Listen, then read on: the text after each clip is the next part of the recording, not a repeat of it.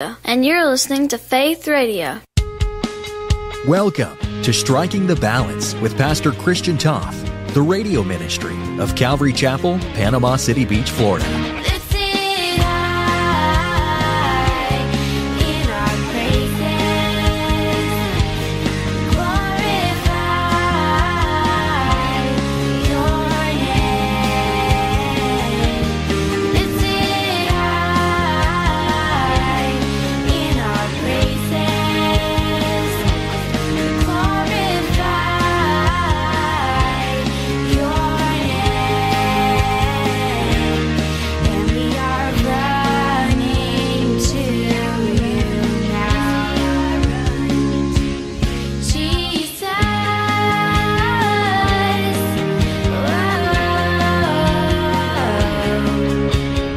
We're so glad you've joined us today on Striking the Balance. Our vision as we open up the Word of God is to strike the biblical balance as we teach book by book, chapter by chapter, verse by verse. Thanks again for joining us today, and we hope and pray that these messages help strengthen your walk with Jesus.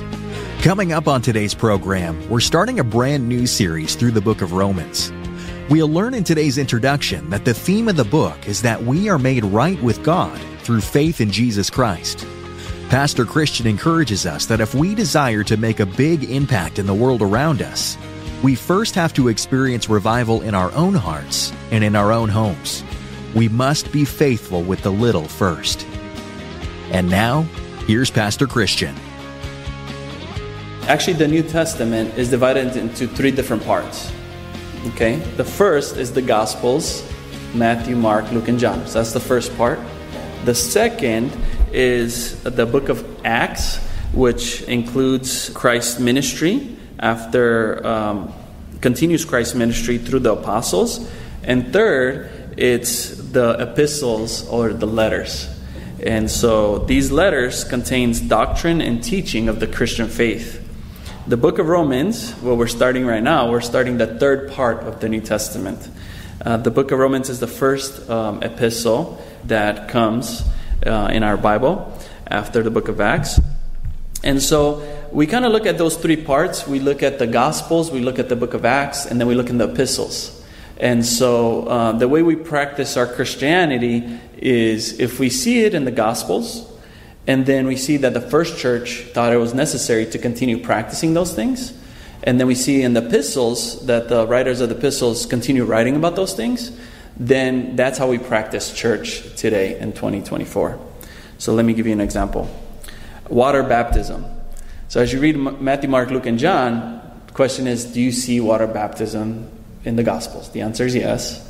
Then you look through the book of Acts, and you see people getting baptized in the book of Acts, and the answer is yes.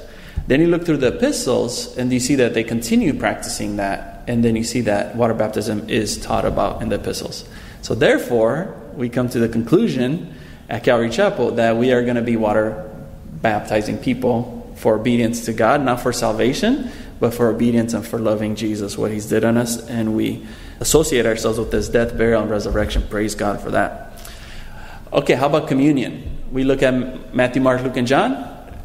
Did they take communion? Yes. We look in the book of Acts. Is communion there in the 28 chapters? Yes. Then we look in the in the in the epistles, and then we see communion. As a matter of fact, we're going to take communion today um, after service. The first Sunday of the month, we take communion together after service to remember that precious blood of Jesus that was shed on the cross for us, and the the bread, the body that was broken because He loves us so much. Uh, so so excited about that.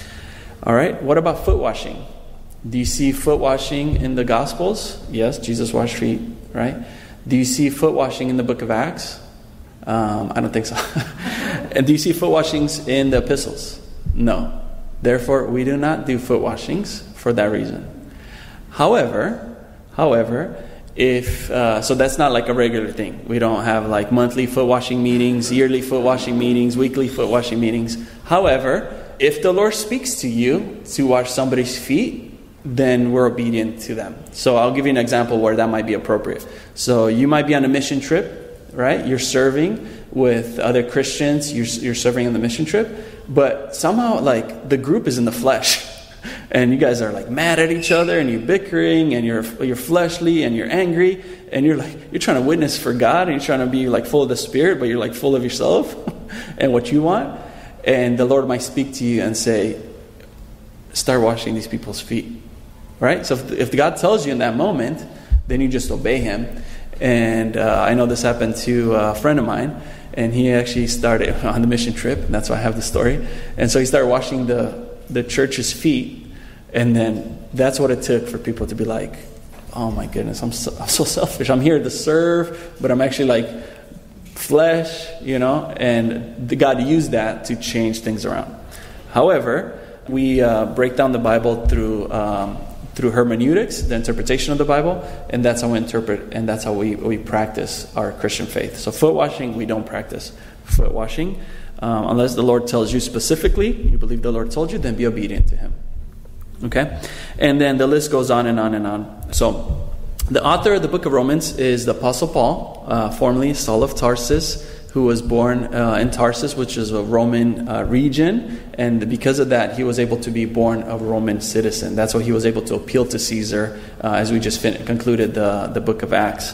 And the writing of this letter, he actually wrote it when he was in Corinth. And we just studied that in the book of Acts when, when uh, Paul was in Corinth. And while he was in Corinth, in Greece, he actually wrote to the church in Italy, in Rome, because he had uh, friends uh, that, were, that lived in, in Rome, and he had uh, people that came to faith. And so while he was in Greece, he wrote to the church in Italy, in Rome. Uh, the, the date of the writing is AD 57. So in AD 57, this is when this epistle, this letter was written. And the theme of this book, there's 16 chapters in the book of Romans. The theme of the, the book is righteousness through faith in Jesus Christ. So this is what we're going to learn, and uh, this is what's going to transform our church, and this is what's going to transform our own, my own personal life, is righteousness. We can be right. We can be right with God not on our goodness, but through faith. Righteousness through faith in Jesus Christ. That's the theme of the book. So, this letter was written by uh, Apostle Paul to the church in Rome. Um, like I said, he wrote this around AD 57 from the city of Corinth.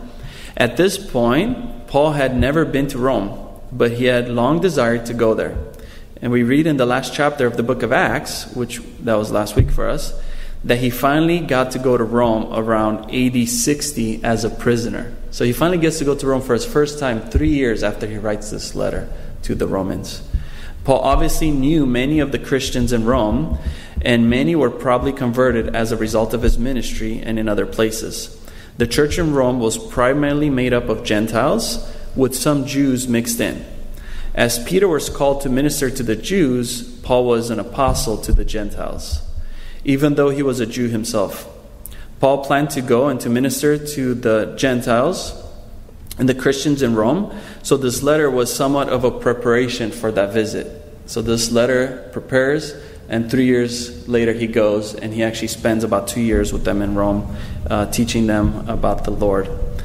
He was in- encouraging and giving the Christians advanced training, preceding his personal ministry to them.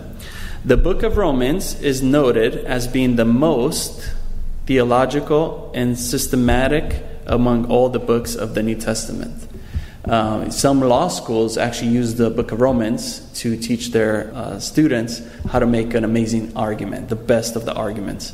And so Paul was very learned. He was, he was probably one of the most learned men because he, he grew up as a Roman, so he's super well versed. He's kind of like Moses. Remember, Moses was learning all the ways of the Egyptians? Yeah, he chose not, he didn't choose the passing pleasures of this world. He chose rather to suffer with the people of God rather than to enjoy the passing pleasures of what Egypt had to offer him. And so Paul was very learned in the Roman culture. He was very learned in the Greek culture. And he went to school and to university of the Hebrews. So he was very learned in the Hebrews. So he was just, he had like everything going for him. He was the cream of the crop, literally. Uh, he actually exceeded, even in, in his university, he, he exceeded uh, many of his companions. He was valedictorian in everything. And yet he says, All those things that were gained to me, I count them lost for the excellency of learning and knowing Jesus Christ. Actually, he says, I count the, these things as rubbish. All that learning and everything I had is just trash compared to Jesus. I just want Jesus. But God used all of that as He was able to relate and to persuade men and women to Christ. So, the entire book explains to us the need of salvation, and that's why this book is so important is salvation and how God is able to give us righteousness. Paul explains the purpose and need for the death of Jesus and the practical implications of the great doctrinal truths, including the unity of Jews and Gentiles that come by faith in Jesus Christ. So, Paul's going to make an argument of the unity of the Jews and the Gentiles. The book of Romans uh, stands out because it's a vehicle that God uses to teach us about uh, His glorious grace. And we see here, when we get to chapter 7, verse 24, it's a hopeless lament which says, O wretched man that I am, who will deliver me from this body of death? Like, we want to do good, we're Christians, we, you know, and then as we're, God is using us and we're doing the right thing with God and with, with humans, and the next thing you know, then we do the wrong thing, right? Like somebody comes and they just really upset us so bad. Maybe somebody like broke a rule or didn't follow, uh, you know, the the proper etiquette of how you're supposed to behave in a certain setting, and just that might make us just so upset. We're so upset with somebody who you know who just is not following the rules, and then we sin by being so upset with them instead of being like godly towards them, no matter what. And then we see that even though we're born again, the Spirit of God, we still have a nature, a fallen nature that's in us still, and um, and that's that's what Paul calls it, the body of death. We still have the body of death. This is still our war, and so we kind of realize like we can't be good enough on our own strength. We can't be good enough and perfect. Like we still get upset. We still do all kinds of stuff, and then we're so bummed out with ourselves. Like, oh, how could I do that? Well, that's who we are, and of course we're going to do those things. So, who's going to deliver me? Who's going to help me from this body of death? And so that's that hopeless plea. And then the turn of events is in Romans chapter 8. First of all, that says that there's no condemnation for those who are in Christ Jesus, who walk not according to the flesh, but according to the Spirit. And so we get to understand God's amazing truth through the book of Romans as we discover who we are um, in Jesus and the victory that comes from this understanding. And, then and later in, in, Romans chapter 8, it says, If God is for us, who can be against us? This is just amazing and glorious. And then we are more than conquerors through Him. And so when you realize that, and you realize, like, hey, somebody's breaking this rule, right? Maybe somebody's driving, and there's the rules to driving, right? And they're like breaking the rule, and they've really did something to you that you know, now you're in the flesh, right? So they sinned, and now you sinned. So you're both guilty. But who will deliver us? How can we not be those people who are just so easily influenced uh, by others? And uh, it's through through Jesus Christ, and that's the victory in Romans chapter eight. So that's what revolutionizes us. But this morning we're only going to cover chapter one, verses one through four. And I titled this message "Jesus in the Old Testament." And so let me read uh, verses 1 through 4, and we'll get into our study. It says, Paul, a bondservant of Jesus Christ, called to be an apostle, separated through the gospel of God, which he promised before through his prophets in the Holy Scriptures, concerning his Son, Jesus Christ our Lord, who was born of the seed of David according to the flesh, and declared to be the Son of God with power according to the Spirit of holiness, by the resurrection from the dead. So these, there's so much in there. We can't really go any farther because we have to unpack those first four verses, line by line, precept by precept, really understand um, as we make our way through the book of Romans what this is telling us. So first of all, Paul. So he signs his name. When he wrote it, it was written on a scroll. So when you open the scroll, you have to open it all the way to see the back. So sometimes we write an email and we put our signature at the end. Well, because we write emails. But if you were to write in a scroll, you would put your name first so you can see who the letter's from. At the time that Paul wrote this epistle, it has been 25 years since Paul um, encountered Jesus on the road to the, uh, Damascus. Do you guys remember Paul's conversion? And so Paul, um, a, a, bright light shone, and he was knocked off his horse, and basically Saul of Tarsus became uh, Paul. And so he became a Christian, he became born again. So now it's 25 years later, and he's in Corinth, and he's writing uh, this book. Now, some people talk about past experiences with the Lord. But our past experiences, if we're going to say what the Lord did in 1970s, what the Lord did in 2005, what the Lord did in uh, 2015, if you want to be excited about what the Lord did, those, those experiences are only valid if they translate to today's walk, if you're today walking with Him. And so we can't just, oh, back in the day I was with the Lord, I was with the Lord. Well, that's cool. Like, what are you doing today? It's still the same Holy Spirit, and God wants to work today.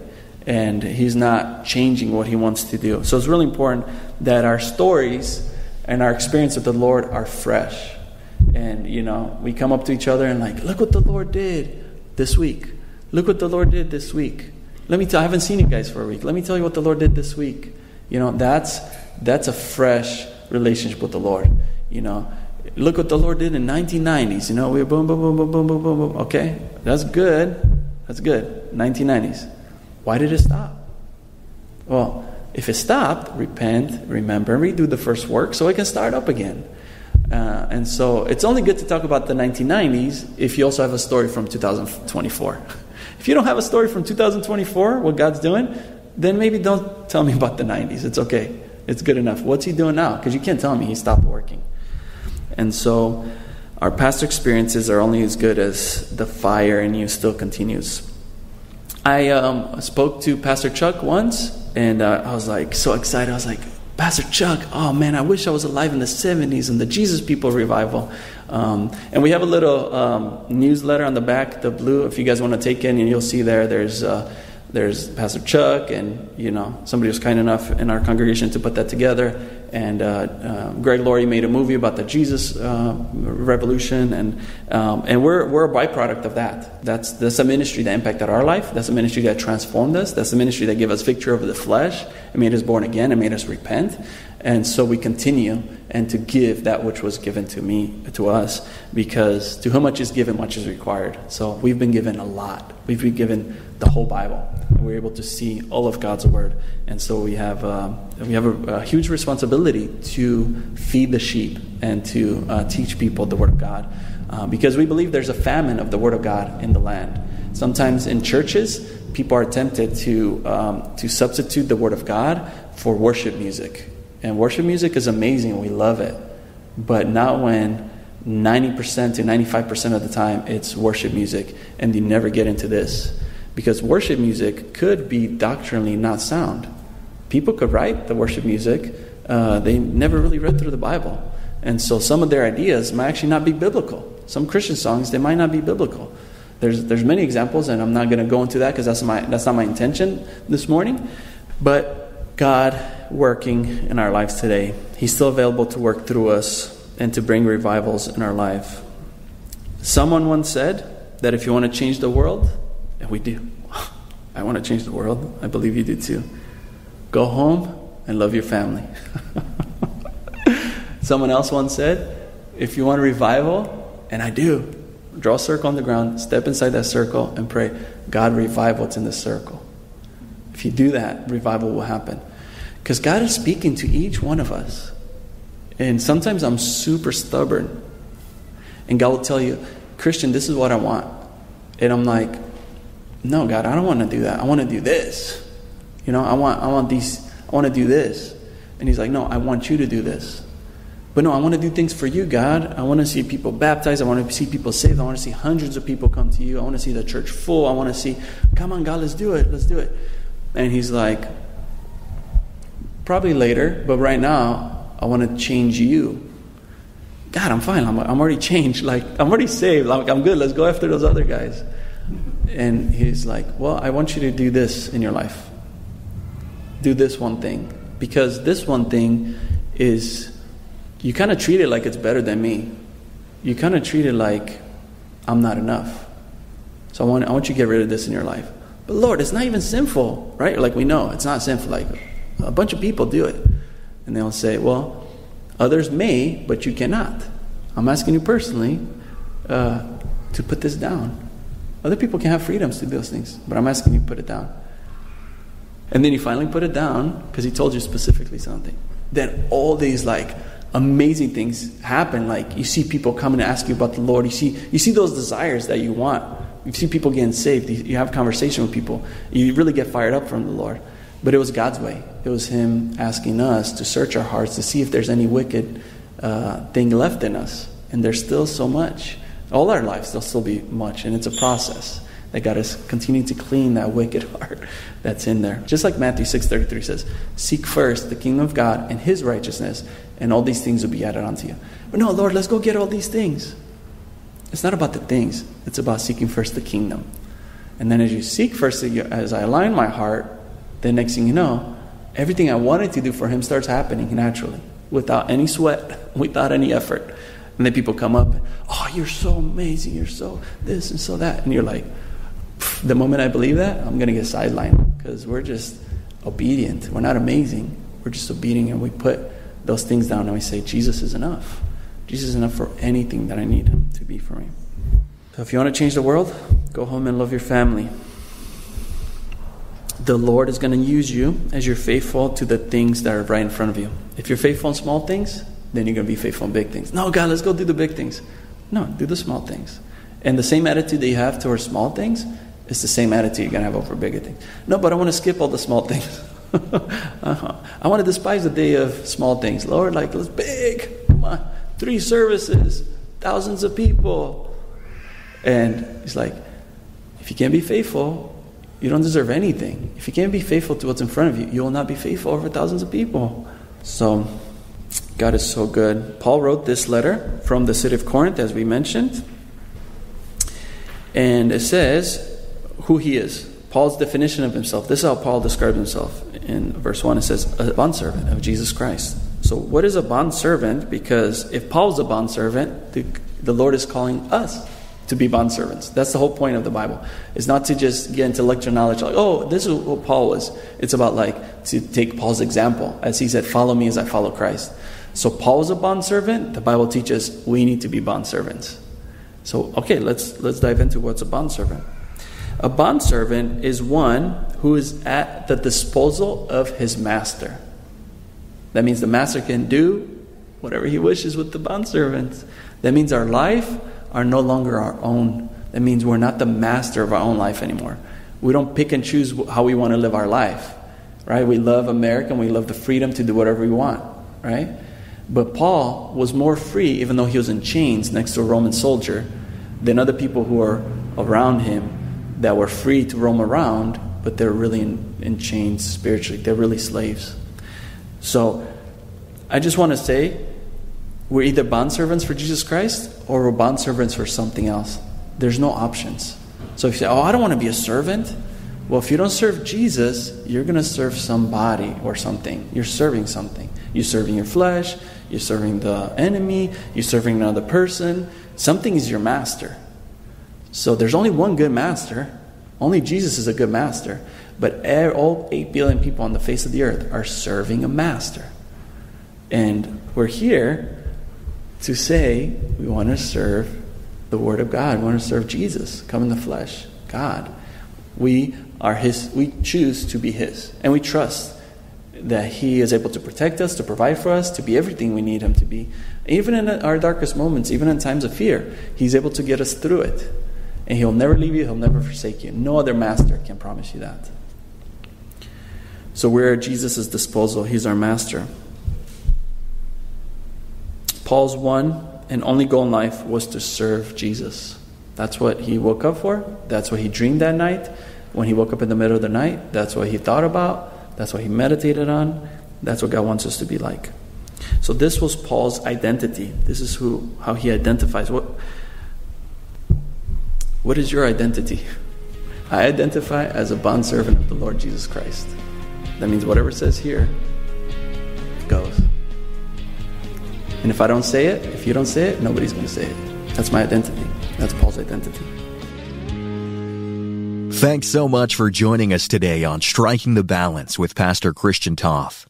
We hope and pray that today's word was a blessing to your life and walk with the Lord. If you happen to miss any part of today's message or would like to hear more teachings from Pastor Christian, take a moment to explore our website, calvarypcb.com. If you're looking for a home church, we extend a warm invitation for you to join us in person at Calvary Chapel, Panama City Beach. We meet Sunday mornings at 10 a.m. and Wednesday evenings at 6.30 p.m. Childcare is provided at both services. For location and other info about our church, once again, our website is calvarypcb.com, or you can email us at info at calvarypcb.com. We'd also love for you to connect with us on social media on both our Instagram and Facebook pages by searching for Calvary Chapel PCB. Your connection means a lot to us, whether here on Striking the Balance or online, and of course, we'd love the opportunity to worship Jesus with you in person. Thanks for listening today, and we hope you'll join us again next time on Striking the Balance.